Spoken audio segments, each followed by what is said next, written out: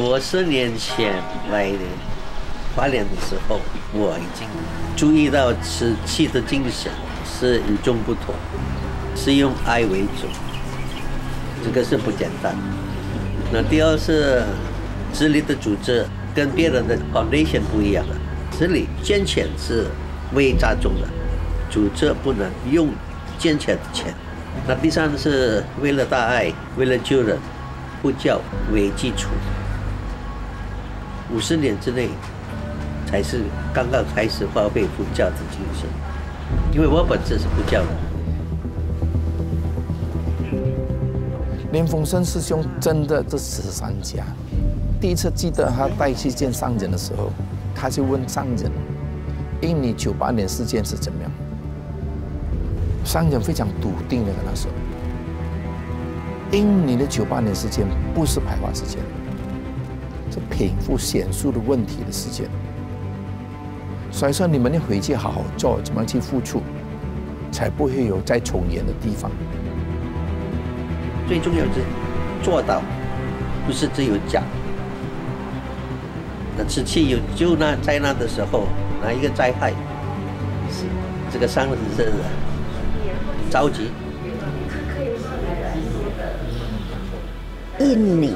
林鸿生先生，他是所做的生意很大，全球呢都有他的食品公司。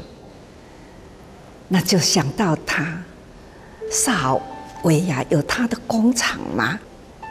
那很快的，这个询问啊，电话接通的时候呢，后来给我们的信息说。好，他们可以呢，全权来协助，所以就地这个公司的副总经理啦，在接到了信息，他自己去找我们的慈济人，我说哦，真的实在是有贵人呐，我们想要做，没有想到无形之中啊。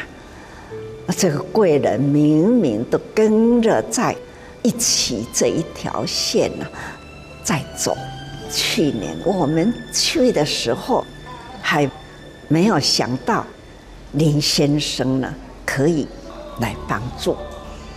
这一回呢，因为他回来拜年，就会记忆很新，想到了林先生。他有没有在这个地方有没有设？厂竟然这么巧合啦！他说，去年八月呢，厂刚盖好，已经开动了啦。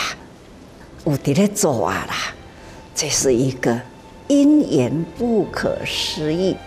感恩您基士的这一位副总经理呢，他说，只要我们想要做。在采购都没问题，等等啦，所以这是哈一个帮助很大的助力啦。我们这比较有经验好，可以自己建造商人，那下一代根本没有机会。我们去把这个想法组织化、系统化。因为瓷器，大现在刚刚开始，不是我们大大的目标。印度尼现在有两亿五千万人，再过十年，再加差不多四千万，再过十五年，印度尼现这个 population 还有人口达到四亿，那四亿人口以后所需要不是现在的瓷器，大概要大三十倍。二零五零年的世界人口达到差不多九十亿到九十五亿，那以后世界就更复杂。世界的想法、精神，大概对以后的社会，有很很大的贡献。